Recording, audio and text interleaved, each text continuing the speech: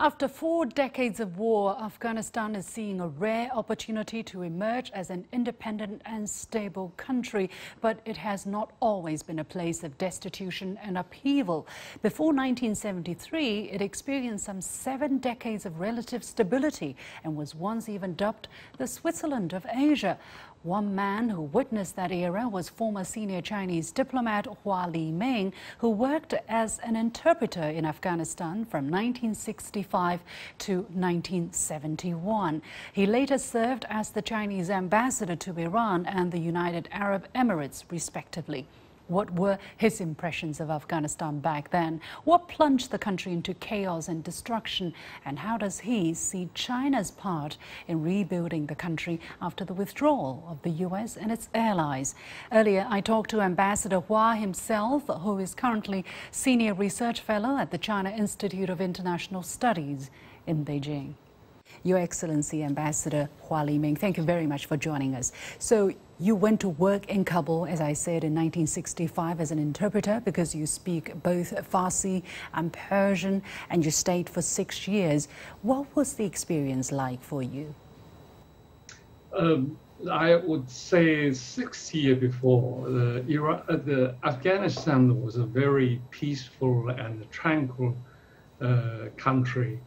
Uh, small, uh, not very rich, but pe uh, people lived in very peacefully, and especially capital Kabul was a small city, but quite westernized and uh, you can find all kinds of uh, West industrial uh, goods in, in, Kabul streets and some intercontinental uh, hotels, and the people are living there uh, peacefully. And uh, this is my experience. All the six years I stayed there was very peaceful, and as you said, it, it, used to be called the Asian Switzerland, and Kabul used to be called a petty Paris. Uh, really, uh, it's it's a very uh, nice, very good experience for me. How do you see the 20-year occupation uh, by the United States, I mean, after the invasion, uh, what do you think they brought to Afghanistan? Uh, really, the U.S. policy yeah, uh, on Afghanistan was the wrong policy uh, because uh, United States, the, the, the, George W. Bush wanted to to transfer or, or, export a kind of American democracy to Afghanistan uh, by guns. and uh, uh, actually, nothing, no democracy uh, never happened or never, never realized. Instead, war, war of 20 years uh, was going on in Afghanistan territory. And to my experience, in Afghanistan history, um, when there is strong uh, central government, the country will be peaceful and stable.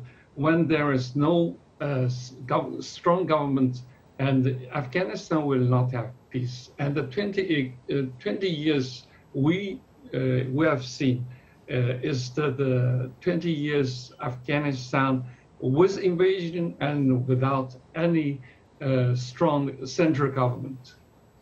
Looking into the future, um, do you see now a window of opportunity for Afghanistan to finally to have that kind of central authority necessary to bring the country together and restore some kind of stability in the near future?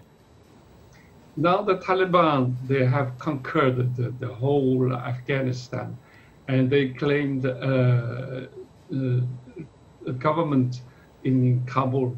I wish uh, Kabul, uh, Taliban will uh, establish a strong central government and to be accepted and recognized by all ethnic groups of Afghanistan. Uh, if it is so, if it is he's supported and recognized, uh, accepted by all ethnic groups of Afghan, then uh, we, I wish there could be a kind of a peace and stability uh, back again to Afghanistan. How do you see China uh, positioning itself in the new era that's coming up? Will it mean stepping up engagement and investment, such as in infrastructure and trade, and uh, in some people's words, filling the void left by the US and its allies? Strategically speaking, Afghanistan is very important for China because Afghanistan is China's neighbor. Uh, we have 100 kilometers um, common border and uh, Afghanistan is directly linked to China, China's western part.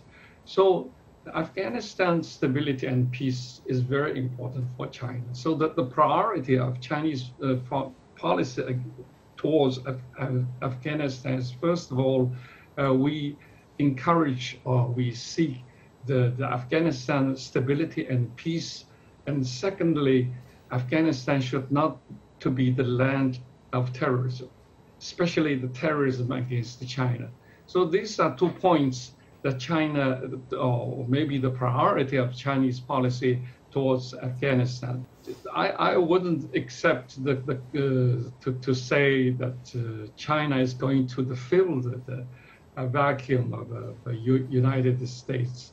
Why China not? only, uh, because China and the United States uh, are not enemies to each other. And China never, Chinese foreign policy never has the ambition to, to fill any vacuum of the, the United States in the world, so, including Af Afghanistan. So what China will do is that to, to encourage the Afghan people to, to make, to achieve their uh, stability and peace and uh, to uh, de-associate with uh, terrorism China will join Afghanistan people to reconstruct and to, to, to make their life better.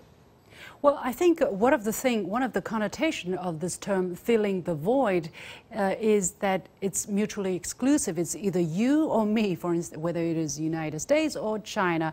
Uh, does that pose a problem for you, uh, Ambassador Hua, in, in the way how it um, implies that China's foreign policy is, you know, taking up a position and having it all to itself and not working with other people uh, on a common common interest, for instance, working with other partners, whether it is United States or other countries in Afghanistan?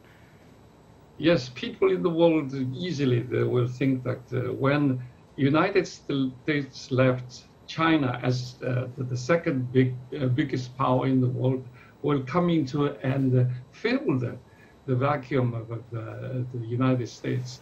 But it's not it's not a fact. It's not true. Uh, I remember nine, uh, 1960s uh, when I was in Afghanistan. The Soviet Union and the United States they had rivalry in Afghanistan very strongly, and uh, uh, they tried to have bigger influence in Afghanistan. But now the Sino-US relation is not the, the kind of US and Soviet relationship. And uh, we, China, have, have, has publicly announced that China never seek a sphere of influence in the parts of the world, mm-hmm. including Afghanistan. So uh, China and the United States are not rivalry to each other. Mm-hmm. I can I can say China and the United States actually they can be complementary to each other. Well, some people are also saying, look, this is a golden opportunity for China to put the missing link of the Belt and Road Initiative in that region because Afghanistan is a very important link of, uh, between China and uh, Central Asia and then to the Middle East. So uh, do you see it that way as well uh, as part of the reason why China would be eager, you know, to engage further with, uh, with Afghanistan? Yes, uh, from point of view of uh, uh, Belt and Road, Afghan, Afghanistan is so important. As I said, it, uh, Afghanistan is China's western neighbor, and uh, uh, Afghanistan geof geographically is directly linked to China western mm. provinces. So th this is Afghanistan is the first step of uh, China's westernward Belt and Road. So I, I think uh, when a peace and stability is achieved in Afghanistan, uh, many things and many projects on the Belt and Road could be done in Afghanistan. But what's the significance of roads and bridges and telecommunication connectivity, for instance? What's the significance of these things to the local people, to peace in Afghanistan? Guns didn't bring peace to Afghanistan. Can roads and bridges do that and make a change for the Afghan people? Of course. Uh, of course, the, the, the pre precondition is that there should be uh, peace and stability. First, so you're basically saying, Ambassador Hua, I'm sorry, you're basically saying China will wait or the Chinese projects will wait until there is peace and stability in, in Afghanistan, or do you think China will already go ahead despite the volatile situation? I think the first thing is that China will join all Afghanistan's neighboring countries to help Afghanistan make peace, make stability, and make a strong and uh, accepted internationally and internally uh, central government. And then uh, on the basis of stability and peace, mm. we can start and we can speak about the cause of reconstruction, yeah. bridges and roads. Um, you know, in, in the case of some Western country, they would say this this government is not democratic. This this government is, you know, a dictatorship or it's killing its own people. Therefore, they're not going to, and it's not good. It's not moral to do business with them. What is China's rationale? How does China see the, you know, the the, the sensitivity that comes with the, with these kind of uh, government systems? These are the judgments should be made by the Afghan people themselves.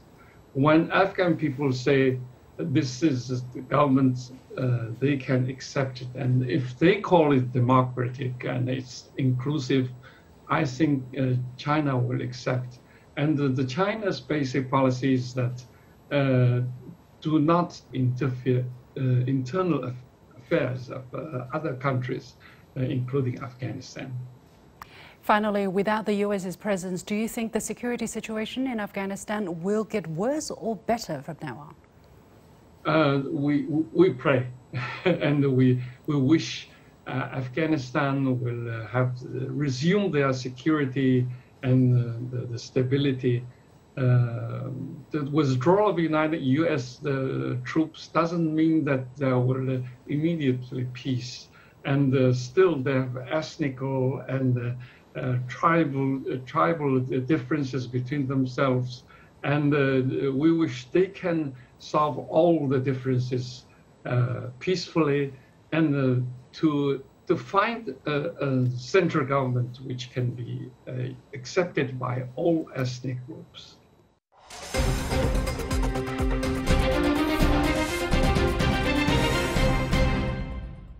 That was Ambassador Hua Liming, currently Senior Research Fellow at the China Institute of International Studies. With that, we come to the end of this edition of The Point. As always, you can follow me on Facebook and Twitter using the handle Liu Xin in Beijing. Thanks for watching. You've got The Point.